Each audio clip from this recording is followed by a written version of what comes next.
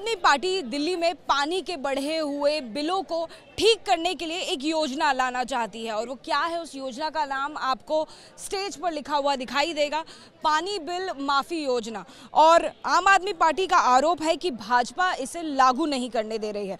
आम आदमी पार्टी लिहाजा आज भाजपा के दफ्तर का घेराव करेगी। आम आदमी पार्टी द्वारा पानी के बढ़े हुए बिलों को ठीक करने के लिए वन टाइम सेटलमेंट स्कीम लाना चाहती है। और आरोप अनुसार भाजपा द्वारा उन्हें रोका जा रहा है।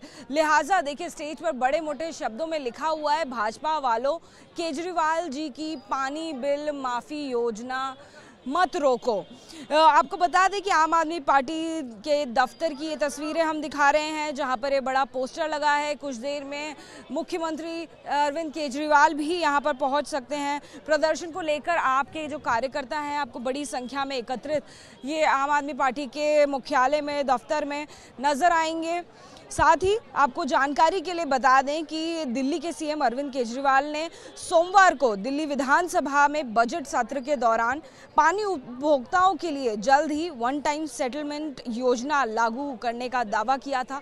ये भी कहा था कि दिल्ली के जो लोग पानी के बिल से परेशान हैं, वो गलत बिल ना भरें। लिहाजा पानी को लेकर जो राजनीति है, वो तेज़ होती हुई दिखाई दे रही है और इस पूरे मुद्दे में आम आदमी पार्टी भाजपा को घेर रही है।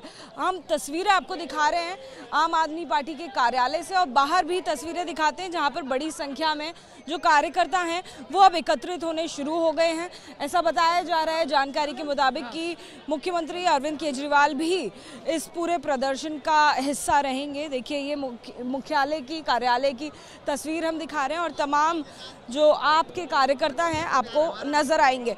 बाहर की भी तस्वीरें दिखाते हैं और दिखाते हैं किस तरह से भाजपा मुख्यालय को घेरने का जो प्लान है, वो आपके कार्यकर्ताओं ने किया है। साथ ही आप देखिए वीआईपी जो मूवमेंट है, वो शुरू हो गया है। यहाँ पर गोपाल राय जी पहुँच गए हैं।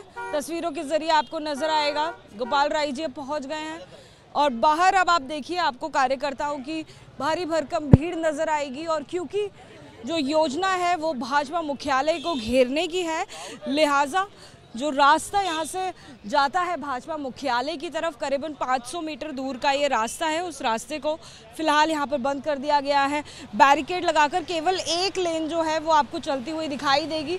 तमाम जो पुलिस बल हैं यहाँ पर तैनात कर दिए गए हैं। यहीं से करीबन 400 से 500 मीटर दू, की दूरी पर भाजपा का मुख्यालय है और आगे बढ़ने से उन्हें कुछ देर बाद रोका जाएगा जब ये प्रदर्शन शुरू होगा।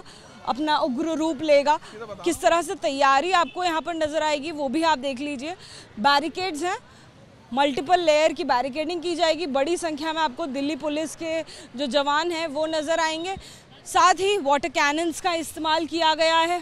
कई सारे जो कार्यकर्ता सड़क पर उतरेंगे, उनको यहाँ से हिरासत में भी लिया जा सकता है, लिहाजा दिल्ली पुलिस की बड़ी बड़ी बसें भी आपको नज़र आएँगी। साथ ही ट्रैफ़िक पुलिस आपको नज़र आएगी जो कि ट्रैफ़िक डाइवर्जन्स करेगी।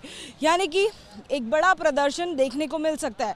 देखिए, सीएम ने दावा किया था कि करीबन सत्ताईस लाख से ज़्यादा पानी के उपभोक्ता हैं, जिनमें से केवल 18 लाख उपभोक्ता ही बिल देते हैं। और इस तरह की जब बिल माफ़ी योजना आ जाएगी तो कई सारे वो उपभोक्ता जिनके ऊपर नाजायज़ बिल का जो सौंपा जा रहा है उनको ज़ीरो बिल आएगा। यानी कि महीने में बीस हज़ार लीटर तक जो लोग पानी का इस्तेमाल करते हैं, उनको भी बिल पहुँच रहा है, जो कि गलत है, क्योंकि बीस हज़ार लीटर महीने का मुफ़्त पानी दिल्ली में बांटा जा रहा है, दिया जा रहा है।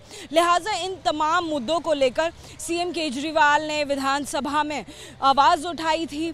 उन्होंने ये आरोप लगाया था कि भाजपा द्वारा इस बिल को पास होने नहीं दिया जा रहा है, जबकि दिल्ली जल बोर्ड द्वारा इसे दो 2023 में ही पास कर दिया था, लेकिन अब इसे लागू नहीं होने दिया जा रहा है भाजपा द्वारा।